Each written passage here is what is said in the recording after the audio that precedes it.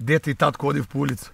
И дете гледа вика, леле, тато, оваа му има голему задницу. Чути бе, ке те чуе. Па јако ме чуе да не му се намали.